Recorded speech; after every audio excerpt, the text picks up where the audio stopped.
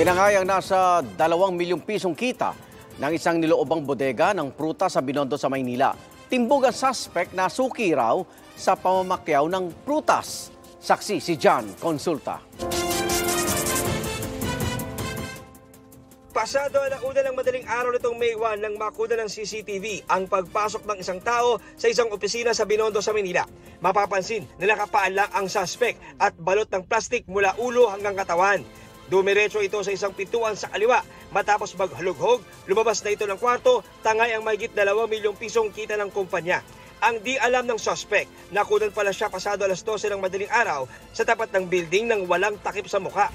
nagkaroon ng long weekend at ah, so yung ang nangyari yung sales po ng ah, tindahan o ng warehouse na yon ay naipon.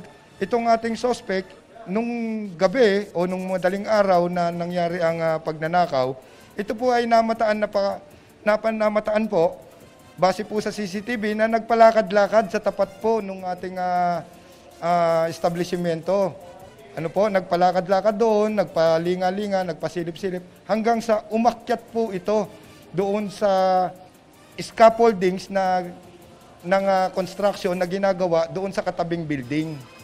Sa follow-up operation ng MPD Station 11, nahuli ng pulisya ang suspect at na-recover ang perang ninakaw sa warehouse pero nagastos na raw ang mahigit isang daang libong piso. Hiniling ng MPD na itago ang pagkakilala ng suspect habang gumugulong ang investigasyon. Lumabas na suki pala ng wholesale na prutas ang suspect sa warehouse at may tindahan sa tapat ng establishmento kaya pamilyar ito sa lugar. Siya po ay sasampahan ng ah, robbery in an inhabited place po. Dumaan na po siya sa inquest proceedings po kanina. Iniharap na po siya sa piskalya kanina. Wala pang pahayag ang kumpanyang nanakawan. Para sa GMA Integrated News, John Consulta ang inyong saksi.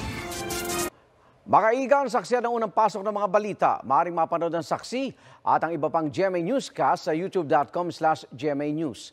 I-click lang ang subscribe button sa mga kapuso abroad naman. Maaari po kaming masubaybayan sa GMA Pinoy TV at www.gmanews.tv.